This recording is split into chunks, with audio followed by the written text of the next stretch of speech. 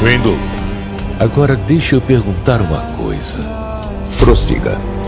Você acha que os Jedi irão realmente manter a paz? A Katri era uma defensora da paz. Os Jedi são meros lacaios do Senado. Eles sempre obedecem quietos. É evidente por toda a galáxia. Os Jedi clamam pela paz, mas só mantêm a lei e a ordem para os ricos e poderosos. Tantos já sofreram pelo que você chama de ordem. Então, deixe que traga a paz. Esta enviada.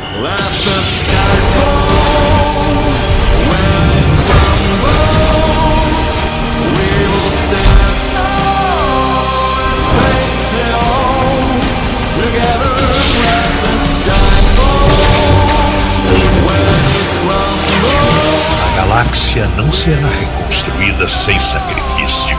Sua ideologia tem pontos válidos.